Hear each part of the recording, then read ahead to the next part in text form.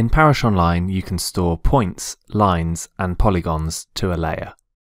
To create a point, firstly switch on the layer and zoom into the location where you want to add it.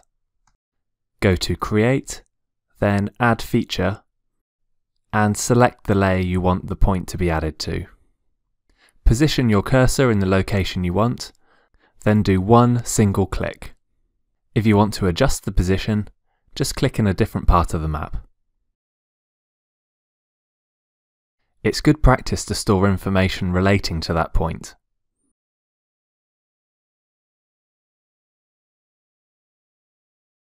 Once you've finished, click Save. That point is now successfully saved in Parish Online. To edit that point, click on it on the map, then select it on the left hand side. Then choose the pencil icon to go into the editing mode. From here you can edit the information stored within the point, or the location itself. And when you're done, just click Save.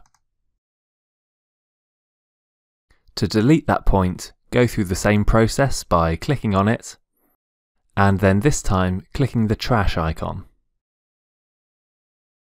It will ask if you're sure, click OK, and the point will be deleted from that layer.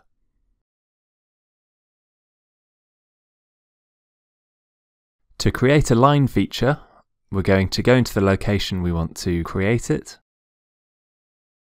Again, go to Create and Add Feature, and then select the layer. I'm going to draw the line by doing a series of single clicks on the map.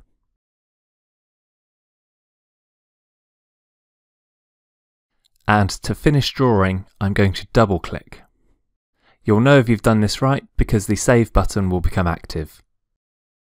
I can again add information about that line and click the Save button.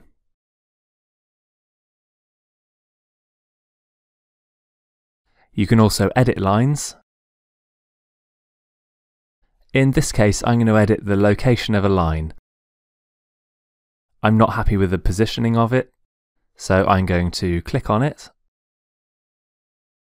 select it on the left, and again click the pencil icon. This puts it into the editing mode, and I'm simply going to drag the line into the position I want. So I'm going to hold down my left click button and drag it into position. To move the map whilst editing, I can left click drag, but making sure I'm not actually clicking on the feature, and then I can continue editing.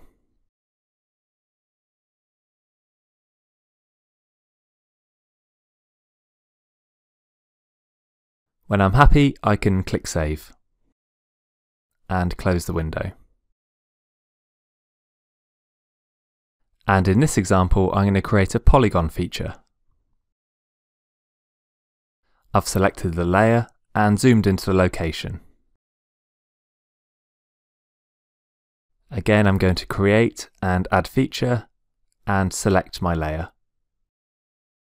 Now, just like the lines, I'm going to perform a series of single left clicks, and this will start to create a polygon for me. When I'm done, I can either double click or I can single click on the first position I clicked. Again, you'll know this is done because the Save button will become active. Remember to add any information you want to include, and click the Save button. It's the same principle with editing this object. I'm going to click on it, and click on the pencil icon,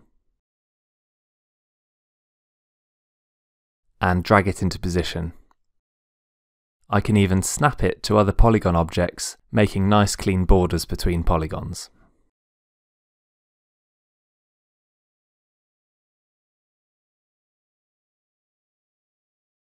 Once I'm done, I'm going to click Save and close.